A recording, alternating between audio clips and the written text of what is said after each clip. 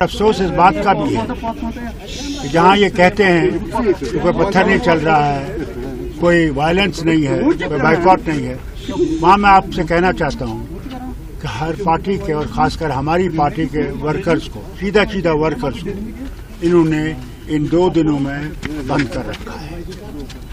एक तरफ़ से ये कहते हैं कि इलेक्शन बहुत आज़ादी से हो रहा है। तो मुझे बताइए मैं होम मिनिस्टर साहब से पूछना चाहता हूँ प्राइम मिनिस्टर से पूछना चाहता हूँ हमारे वर्कर्स को क्यों बंद किया गया?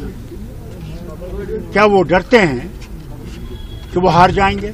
हमारे वर्कर 50, 40, 60 एक साथ थोक में उठा रहे हैं और पुलिस स्टेशन जाके उनको बंद करते हैं और बाद में कॉल्स भी करते हैं। हमें नहीं पता है कौन कॉल्स करता है मगर वो कहते हैं पुलिस है। कि आप बाइकआउट करो वोट डालने क्यों निकलोगे? तो छापा डाला हमारा जोन प्रेसिडेंट है राजपुरा का, लतीफ है उसका नाम, पीर लतीफ। उसके यहाँ छापा डाला, उसकी फैमिली को घर से बाहर निकाला, उसकी बेटियों को निकाला, बीवी को निकाला और रात को उनके घर में छापा डाला। तो ये क्या है? वट इज़ दिस अगर इनको 87 रिपीट करना है, अभी तो हमारा वो, वही, वो जो 87 के जो मुसीबतें हैं, उसी से हम बाहर नहीं निकल रहे हैं। दोबारा रिपीट करना चाहते हैं।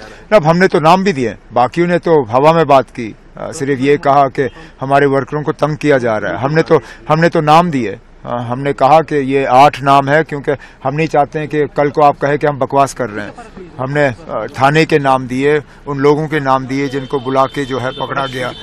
ये बदकिस्मती से एडमिनिस्ट्रेशन के तरफ़ से इस पोल प्रोसेस को थोड़ा विशेट करने की एक कोशिश है।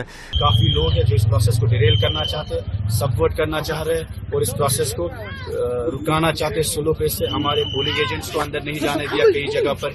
रिटर्निंग ऑफिसर्स की वजह से कई जगह पर रात को पुलिस ने हमारे वर्करों को उठाया पोलिंग एजेंट्स को उठाया और इस वक्त भी बहुत स्लो प्रोसेस स्लो पोलिंग करने की कोशिश की जा रही है।